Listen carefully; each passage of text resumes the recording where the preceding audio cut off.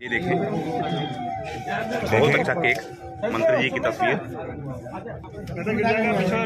और ये देखें दीपक बैसला की टीम है। वीडियो बनाने वाले वीडियो बना ले अच्छा वाला केक मंत्री जी काटने जा रहे हैं। वर्तमान पार्षद विजय बैसला दिखाई पड़ रहे हैं। यहाँ भी मंत्री जी काट रहे हैं। मोहित तुम दो रह भाई। ये देखें मंत्री जी दीपक को केक खिलाते हुए। अजय भैया? नरेश गुप्ता जी।